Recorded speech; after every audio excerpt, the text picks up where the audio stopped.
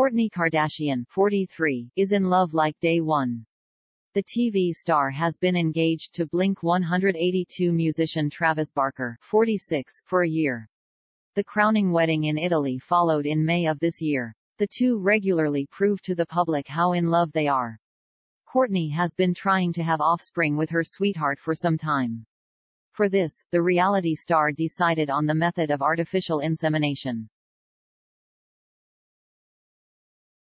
On the anniversary of her engagement, the reality star reminisced. On Instagram, Kourtney now shared a sweet series of photos of moments from their engagement.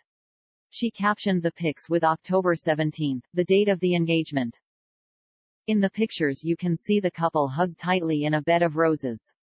Her lover commented, I will always love you, today and every day. Already for the application, the beauty published some romantic insights for her fans. Her followers also liked this sweet memory. I will never forget how it developed with you. This is one of the greatest love stories of our generation, commented a fan. So romantic and I am happy for you are other statements under her Instagram post.